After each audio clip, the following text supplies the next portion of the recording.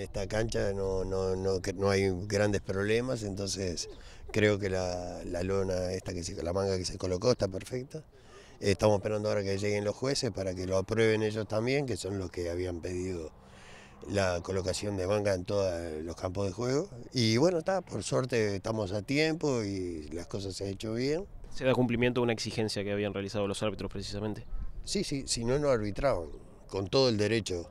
Este, tienen toda la razón porque la verdad que hay campos de juego donde es complicado para ellos. Son mangas fijas y además exigidas precisamente en todos los escenarios. En todos los escenarios y son fijas, sí. Cada escenario va a quedar con su manga y este, algunas un poco más largas, otras más cortas, pero de acuerdo a cada escenario van a ser este, los, los metros de manga.